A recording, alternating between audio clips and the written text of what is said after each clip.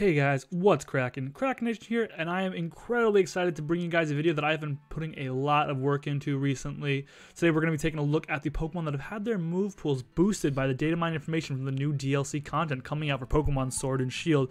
And I'm going to be giving you guys my personal ranking of which Pokemon I believe received the biggest buff. Keep in mind, these are my personal rankings, so when you inevitably disagree with me, feel free to flame me as hard as you want in the comment section below. And while you're at it, if you want to leave a like or subscribe to this channel to keep up to date with a lot of great competitive Pokemon content and analysis, I'd really appreciate it, guys. Let's go ahead and talk about this video. So, as you may know, Pokemon Sword and Shield did not have all the Pokemon in the National Dex included in the game. Instead, what Game Freak and Nintendo are doing is releasing DLC content called the Isle of Armor and the Crown Tundra into the game for purchase you, where you can explore brand new areas and storylines while catching up on many old Pokemon and a few new ones along the way. Uh, regardless of my thoughts on Nintendo's business practices here, uh, it's cool that there are Pokemon being added back, and with some crazy buffs to go along with that, it's a really exciting time to be a Pokemon fan and see what's in store. Uh, so without further ado, let's get into this list, guys. So coming in at number 10, we are going to have uh, Pokemon that I had a hard time ranking on this list. I wasn't sure how high to put it, and I decided that number 10 would be the right spot. So barely squeaking in is going to be Gliscor. Gliscor is a Pokemon that has always been on the fringe of viability, and it definitely received a small buff with the removal of Hidden Power from the game, because Hidden Power Ice was obviously a move that it really, really feared. But in the new DLC content, it is receiving another buff that I think is going to make it a pretty big winner in the new DLC content for Pokemon Sword and Shield. That's going to be the first one being Power Whip. So as you may know, Gliscor is a weak to water type, but not only that, Gliscor also is going to struggle with a lot of uh, water types that are going to be able to bulk, to bulk through some attacks. As you may know, bulky water types being a really, really good answer to Gliscor. So now what does your Gliscor have to hit them? How about an incredibly high base power move in Power Whip, hit them super effectively and be really, really powerful. So if you're running like a double dance dancing Gliscor or a swords dance Gliscor to stall break, now you don't have to be afraid of your opponent's bulky water coming in every single time and threatening you out with the Scald because now you've got that power whip in the back to do a lot of damage. Furthermore, another move it got is Psychic Fangs. Now this one's not quite as big a deal, but I think there are situations where Psychic Fangs can be useful. It could be useful against the fighting type. Uh, now, Gliscor doesn't usually run flying stab, so flying is super useful there. If you wanted to, you could run acrobatics, but usually you want to run an item. So there's not usually a lot of great flying stabs, so Psychic Fangs could be a new go-to move for Gliscor when you're trying to hit opposing fighting types. Uh, not to mention things like Mega Venusaur, for example, come to mind. Although Earthquake's pretty good there, Psychic Fangs could be maybe a better option in a pinch. So coming in at number 9, I might have this Pokemon a little low here, guys. I'm going to be honest. Uh, and this might be an unpopular opinion, but we're going to go to number 9, Zapdos. So Zapdos is a Pokemon that has always been an OU Pokemon, or at least close. Sometimes it was UU, but it's a very, very, very strong Pokemon, no doubt uh, and got a few new toys here that we're going to talk about. So one of the big problems that Zapdos always had is that its flying stab was absolutely abysmal because it's on the physical side. It had to run Drill Peck, which is okay, but you don't want to run a physical Zapdos. You want to run a special Zapdos with that good special attack stat. And its only special stab moves were like, I think like air cutter maybe? It was just complete garbage. So now it's got a couple new toys to work with. One in the form of air slash. Obviously air slash is a really good move. Is a flying stab move. We've seen it in some competitive play. And then hurricane is the other really good option here. So between these two moves you've got a slightly high better accuracy version. Obviously neither is perfect but air slash could be your go-to move with that flinch chance. Hurricane could be a more powerful move with that a chance to confuse as well. You also have Brave Bird, so if you are one of those absolute crazy people out there running physical Zapdos, you get a little bit of a better move than Drill Peck to do it. Finally, Weather Ball is another kind of low-key one that kind of slipped under the radar, but you need to consider because this makes, thinking about this, Zapdos just got Hurricane and Weather Ball, which is going to be an incredibly powerful water move under rain, and that makes also makes your Hurricane perfect accurate perfect accuracy. So you're going to have a incredibly powerful Zapdos hitting with thunderbolts or maybe a thunder. Think about this. You're under rain, right? So you've got thunders, perfect accuracy thunders, perfect accuracy hurricanes, and high base power water moves in Weather Ball for all the ground types they're going to try to switch in to your electric moves. So all of a sudden, your Zapdos is going to be an insane rain Pokemon. So this all of a sudden, Zapdos becomes a potential go-to Pokemon on offensive rain teams, and you might see a lot on those style of teams in the future when the DLC is released. So coming in at number 8 is a Pokemon that hasn't seen quite as much competitive play in the Smogon world, but you may have it in mind here, and that's going to be Blaziken. So Blaziken is not obviously in Smogon, but in a lot of draft formats, which you may be watching this video from, Blaziken without Speed Boost is unbanned, or if your league is crazy and you have a format where you're playing Blaziken with Speed Boost, it's got a lot of new toys to work with here, guys. So we're going to take a quick look at them. The first one is going to be U-Turn. That alone is insane. Any Pokemon that has Pivot instantly has a higher chance to be viable. U-Turn alone can put a lot of Pokemon into competitive viability. Just that a chance to switch out of attackers that threaten you, grab some momentum, grab some pressure along the way. Uh, it also got close combat, so it's now got a good, great at that go-to physical stab move. That is fantastic. Not to mention, it also got a go-to special stab move. I believe it had Focus Blast in the past, but Aura Sphere is going to be able to avoid all those focus misses, and you're not going to be crying at the end of every game. So it's got access to some now some really good go-to stab moves uh, for both sides. So it's got fighting physical stab and fighting special stab, and it's also got U-turn to have really, really good pivot access. So I feel like you use Blaziken, if you're in a format where Blaziken is unbanned, speed boost or not, you're going to have a lot of success with these new moves that are going to give it a lot of viability. Not to mention that people forget Blaziken's a defogger. It's good, good special, good specially offensively, good physically offensively. It's really versatile, so don't sleep on this thing. It might be a Pokemon you want to pick up in your next draft league.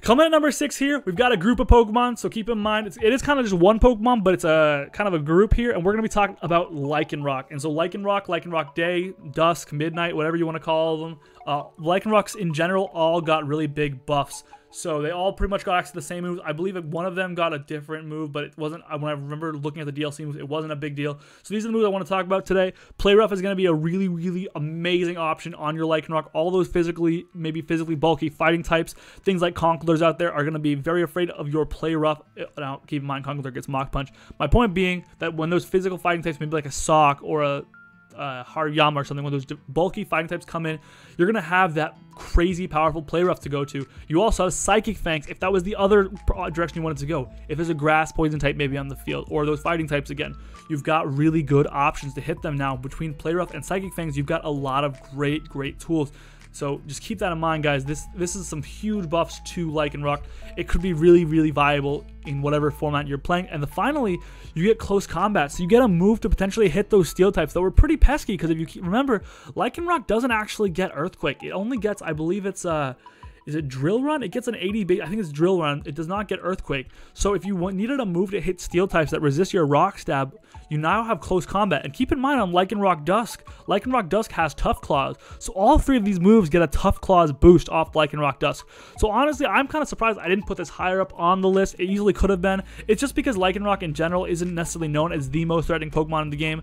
Uh, but overall, I consider Lycanroc maybe easily could have been higher on this list. This was a tough call, but it definitely these Pokemon received a massive buff, especially Lycanroc Dusk becomes instantly more threatening in all formats.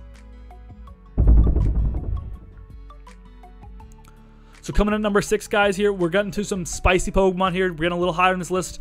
We're going to be looking at Diancie. And Diancie got some fun new toys for sure uh, that are going to make it very viable. And when we're talking about Diancie, keep in mind, we're also talking about Mega Diancie, guys. So keep that in mind here. National Dex formats, Play Rough is the first move that I got, and Play Rough is huge because your physical Diancie is now a real thing. The problem with Diancie is it has this amazing move in Diamond Storm with that high rock, with it's got a high base attack stat, high base power rock move, but it's physical and it's got that chance to boost your defense 50% chance to double your defense every time you use it.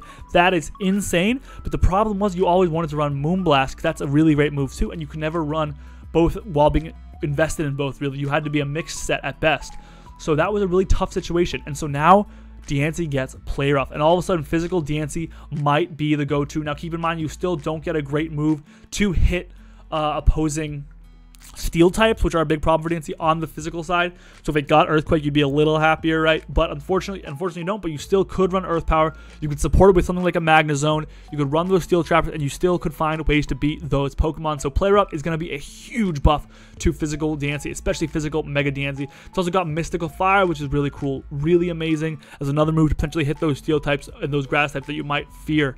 Uh, it's got Draining Kiss on regular Diancie and Mega Diancie. That could be a really potentially viable move. Uh, Diancie has really good bulk, but it has awful HP, and all of its great bulk comes from its defense stats, which makes a move like Draining Kiss potentially really viable because Draining Kiss, when it gives you back 50% of the damage you dealt as recovery, your HP stats really low. So it's similar to ways so that the Rotom forms love Pain Split because their HP stats are so low, or Dusclops loves Pain Split because HP stat is so low. Draining Kiss could be very viable on your Diancies out there. So keep that in mind, guys. It's also got Body Press, and so Body Press is huge on a Pokemon like regular Diancie because it can hit those steel types. So let's say you're running a physically defensive regular Diancie, 150 base, 150 base defense, guys. That is very physically bulky, and you've got a move that win body press that uses that physical defense stat as an offensive stat, and all of a sudden you are launching massively powered body presses out against the world. And guys, that is going to be really effective against dealing with those steel types. So Diancie, maybe again a Pokemon that could have easily been higher up in this list, which just shows you how crazy some of these buffs to all these Pokemon higher up are. Guys, coming in at number five, this is maybe a weird choice, but this Pokemon got an insane buff, and it did not take much, let me tell you. And that is Alakazam and Mega Alakazam. Alakazam did not get a whole lot, guys.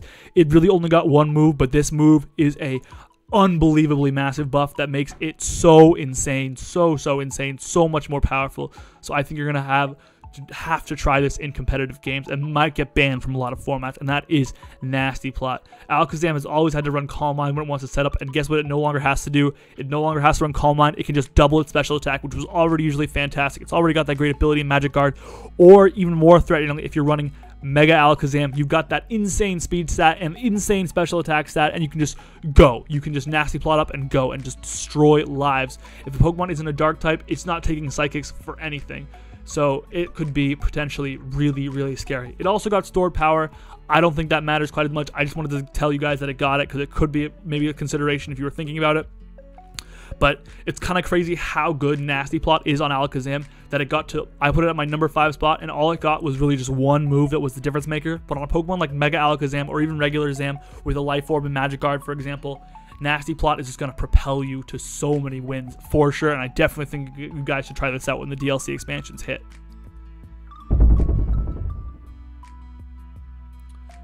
So coming in at number three or number four, we've got two Pokemon here, and that is Latios and Latias. These guys got a pretty nice buff, I have to say. Latias got Dragon Dance. I just want to put that up there. I did not put this on this list, but Latias got Dragon Dance. Not a very viable set.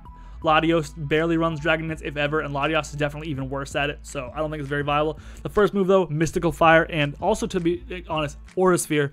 Both these moves allow them to hit those very, very pesky steel types that walled them. Those dark types now fear Aura Sphere. So Aura Sphere is honestly an amazing move for this Pokemon. It gets good fighting coverage. So now you can run, because a lot of times what was crazy in previous generations is how often Latios and Latias wanted to run hidden power fighting, and they couldn't because it lowered their speed stat by one because of the, how the IVs work in old generations. So now you can run an even more powerful move in Aura Sphere, and then with your Psychic and your Dragon coverage, I could easily imagine like a Specs Latios or a Life Orb Latios with Aura Sphere, Draco Meteor, Psyshock, and then like Roost or Defog, whatever move you need in that last spot. It gets Surf, Thunderbolt, these these moves alone just round out this Pokemon's coverage so fantastically, guys, and it's going to be really, really powerful. It also got Air Slash, which is a potentially really nice move for it. Hits grass types if you weren't hitting them already. Uh, it's just really, really useful. I think another nice tech move if you need it. Overall, the Aura Sphere, Mystical Fire, those two moves are going to be huge for this. Things like Ferrothorn, goodbye. You can never wall me again. Guys, coming at number three, the Pokemon that has been roasted on this channel before, but it got a big buff, and so that is going to be Mega Lopunny. And no, regular Lopunny, mm, the buff is not as big because this Pokemon, Mega Lopunny, is way better than regular Lopunny.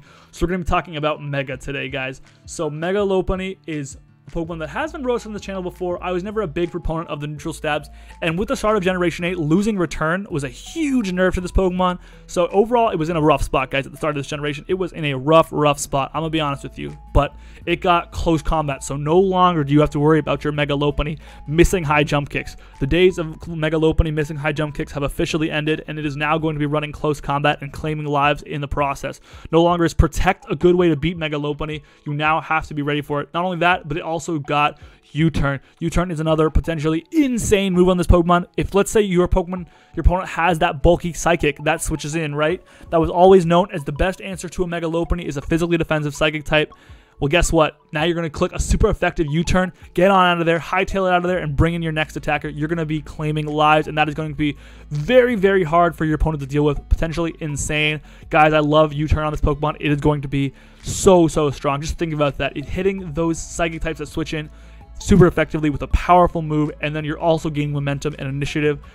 Just unbelievably powerful, and it had to be number three on the spot. Easily could have been number two, maybe even number one. Uh, definitely a huge buff. Finally got play rough, and that's honestly maybe not the biggest deal in the world. Uh, usually you're going to want to run U-turn, close combat, uh, maybe like a normal stab, maybe fake out, something like that. Ice Punch could be an option, but Play Rough is now another tech move you could run to hit those Dragon types a little bit harder than something like Ice Punch could. So you've got a really, really cool new tech move as well. So overall, Mega Lopunny easily could have been high in this list, guys. I had a hard time putting it this low. Coming in at number two, guys, we are getting up on this list, and at number two, we have Tapu Koko. And so Tapu Koko got some fun new toys. The big problem with Tapu Koko in Generation 7, I mean, the, when I say the big problem, keep in mind, it was already one of the best Pokemon in the generation in all formats. And the problem was partially that it could only ever be special. Its physical Tapu sets were just kind of lackluster because it had to run Wild Charge and then which is not a great move in general, but then it also had no physical fairy moves, really awful physical coverage. It only really got Brave Bird. But you know what it got? Now it got close combat. So it's got some fun toys. Now it's got that move to break through those steel types that are going to try to come into you. No longer will you be walled by the Ferrothorns of the world. No way, Jose. You've also got Play Rough, dude. Play Rough is going to be another insane move on this thing. It's so, so needed. And these two moves together will catapult the perhaps now the new best Tapu Koko set is now Physical Koko. That is very, very possible. Not to, not to mention that these moves are going to have to carry and make up some of the slack because the terrain nerf that it got, as you may or may not know, uh, all the terrains got a slight nerf. They now do 1.3 times boost instead of 1.5 times boost. Uh, finally, another consideration I put here is stored power. Uh, not a very move you're going to see very often, but if you are one of those cool people who wants to run maybe in a niche set, I think Electric Seed, Calm Mind, Tapu Koko can catch people off guard. You can run Electric Seed, Calm Mind, Roost, Thunderbolt, and another attack, and that's a really good set, honestly. And on that set, if that extra attack wanted to be stored power, I think that could be a very good option now. Uh, so just something I wanted to talk to you guys about Electric Seed Tapu Koko could be a viable stored power user. Guys, we've got a couple honorable mentions I want to go over here. These Pokemon easily could have made this list, uh, but unfortunately they did not. The first one is going to be Tornadus Therian that I'm going to talk about right here, Torn-T. It got Nasty Plot, could have easily made it over something like Gliscor, I think, we really had to wrestle with that decision. Uh, I decided in the end, Torn-T, you know, Nasty Plot is obviously a substantial buff on it, but it is a Pokemon that likes to switch in and out. It's a pivot more than anything else. It's its primary role. Uh, now it can also be a sweeper, obviously, so it's threatening as all hell. It easily could have made this list. But, um, yeah, it's just that because it's when you click Nasty Plot with Torn-T, uh, you're basically saying you don't want to make full use of Regenerator because why would you switch out if you're setting up every single time you bring it in? So I want I left it off this list, but it definitely is number 11, if not making it onto this list. Raikou got Scald, which is a really big buff for it because now it gets a tool to hit those ground types really, really hard. Um, so you get you have your electric stab, right? That's really powerful, and then you've got a Scald. For some reason, get Scald. I can't even explain why it gets it to hit those. Also, Aggron, Mega Aggron, and a lot of other Pokemon, things like Regirock, Registeel, I'm going to include here. Those are all Pokemon that got Body Press. So all these Pokemon with crazy defensive stats got Body Press. And something like Mega Aggron clicking Body Press is absolutely nuts, dude. So keep that in mind. That's going to be another really insane Pokemon. The Lake Trio easily could have made it onto this list. The Lake Trio of Mesprit, Uxie, and Azelf. All got stuff like Play Rough. It's really, really nice for them. Nasty Plot, stuff like that. So just a lot of very viable options there. And a lot of Pokemon that in that 11 to 15 range on this list that unfortunately just could not make it. But uh, one Pokemon is at number one. So let's find out what that is. So guys, what is number one, the biggest winner of the DLC expansions? And in my opinion, the biggest benefiter of the new expansions is going to be Tapu Bulu. This Pokemon made out like an absolute bandit.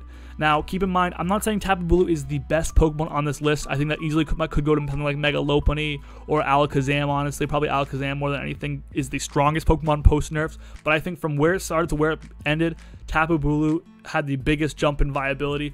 again, it was already a good Pokemon, but now it's got play rough. It's got that physical move. It was always looking for that physical fairy move. Now it can click those insanely powerful grass moves, but then when it's got needs the physical fairy move, it's got that in the back. So no longer can gra- dragon types effectively wall your Tapu Bulu. Play rough is going to annihilate them. Well, you may ask yourself though, but the problem is you're running grass and fairy stab. How are you going to hit steel types? Don't worry, you've got close combat. So you're going to be annihilating those steel types that try to come into you. You they don't you don't fear them at all. All of a sudden, Tapu Bulu can eat steel types for breakfast, but it doesn't stop there. The fun doesn't stop. It also has high horsepower, which, if you don't realize, is Earthquake without the nerf from grassy terrain. It, it's a 95 base power ground move, but unlike Earthquake, which Earthquake, if you didn't realize, is halved in power under grassy terrain, Earthquake is not a move you want to use on something like Tapu Bulu, but it gets high horsepower, which is a 95 base power ground move. So all of a sudden you're hitting those steel types incredibly hard with those powerful ground moves. It's really, really nice. Finally, if it was if that was enough, it also got Darkest Lariat. Just another really good dark move, and you're gonna really enjoy using this Pokemon, guys. I think this is going to be the Pokemon that tops my list. It's going to be just an insane Pokemon of this generation. I really think so. Again, it might not be the strongest on this list, but it's really, really insane and just benefited maybe I think in my opinion more than any other Pokemon on this list. Guys, let me know what you thought of this video. I put a lot of work into it. I put a lot of time and I really thought about these decisions really carefully. I know you're going to disagree, so feel free to roast me alive in the comment section below. Let me know what you think. If you enjoyed this video or stuff like this, make sure to leave a comment in section below and let me know what you thought. Like, subscribe, guys. Join our Discord channel to see a lot of other competitive Pokemon discussion and content. Until next time, I will see you guys later. Krakenation out.